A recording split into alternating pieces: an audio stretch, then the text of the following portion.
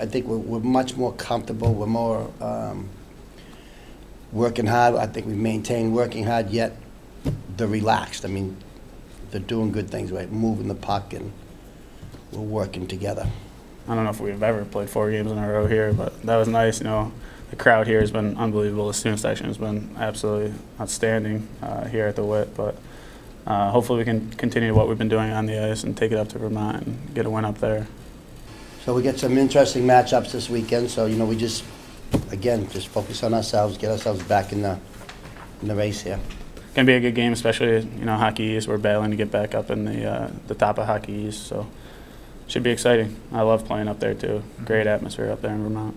They're definitely gonna be uh, very physical, I assume, and they're gonna be hungry for a win. But I mean, we obviously can't sit back. We're we're gonna be just as hungry. Hopefully, we can go up there, steal a win, and uh, get out of there quick.